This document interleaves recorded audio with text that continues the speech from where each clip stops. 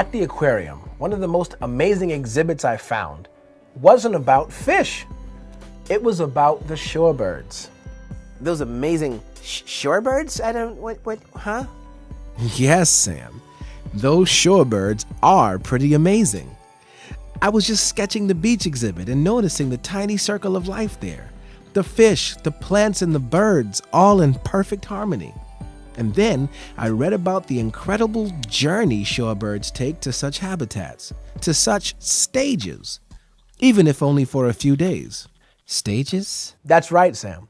The beach habitats that host the shorebirds on their migration journeys, which may be up to 15,000 miles, are technically known as staging sites.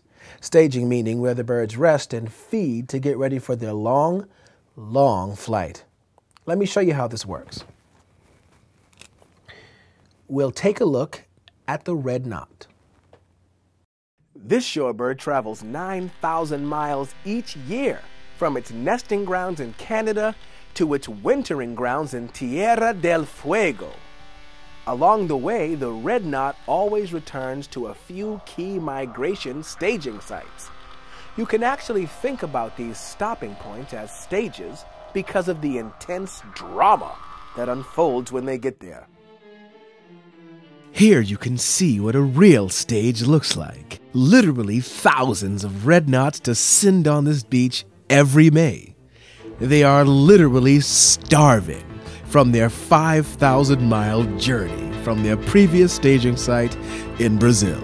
At the same time, thousands of horseshoe crabs are emerging from deep in the bay to lay their eggs on the sandy beach. The stage is set.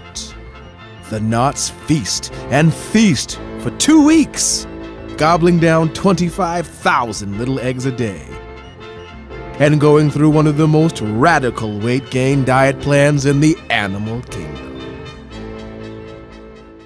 Yes, the amazing shorebirds. Yes, and the amazingly delicate shorebird migration. As you've seen from the red knot, everything has to go off without a hitch. From the birds landing to the horseshoe crabs laying millions of eggs, some of those eggs remaining unburied because there are so many of them. But climate change puts this whole process and the stage it plays out on in jeopardy. So, over this amazing migration route, we have the atmosphere, which is increasing in CO2 content like a thickening blanket.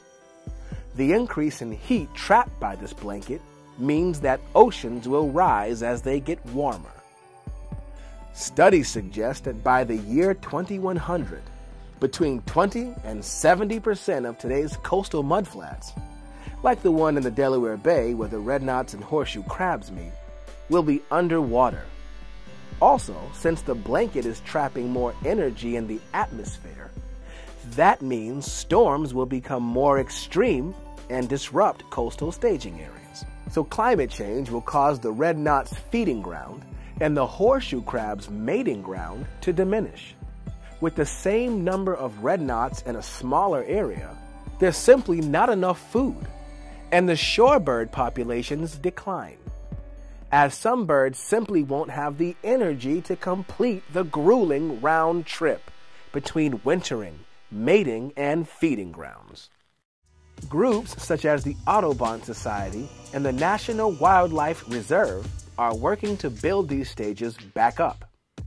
And anyone can get involved, helping to plant dune plants, installing dune fencing, or even gathering oyster shells to create habitats where food sources for the shorebirds can grow.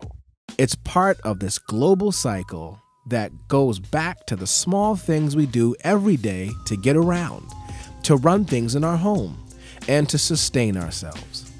Slight but collective changes to these habits connect back to beaches and staging grounds that are so important to animals like the shorebirds.